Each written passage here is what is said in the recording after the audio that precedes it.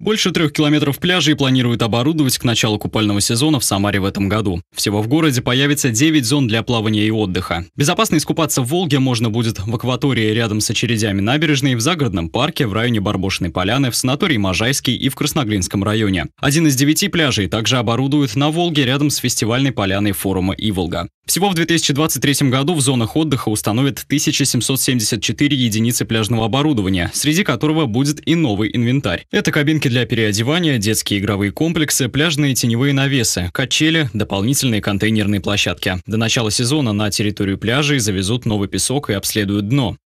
Ориентировочные даты проведения у нас 4.06 э, по 13.06 все пляжи пройти э, водолазным обследованием для того, чтобы уже потом спокойно э, их открыть. Обсуждая подготовку зон для купания, глава Самары обратила внимание на состояние инвентаря, которым на протяжении многих лет укомплектовывают пляжи города. По техническим характеристикам все отвечает нормам. Однако на каждом пляже очередей набережной инвентарь разный, отличается по цвету, размеру и стилю. Елена Лапушкина поручила профильным департаменту и муниципальному предприятию продумать план, по которому постепенно заменят и приведут к общему стилю все комплектующие пляжей. В пример глава города привела концепцию, по которой торговые площадки на набережной приведут к единому облику. То же самое нужно сделать и с лавочками, зонтами, раздевалками и другим инвентарем. Давайте обсуждать, чем можно их заменить.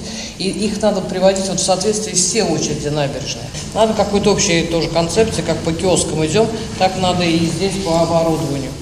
Купальный сезон планируют открыть 15 июня. Городские пляжи будут работать до середины сентября. Михаил Ермоленко, Николай Епифанов. События.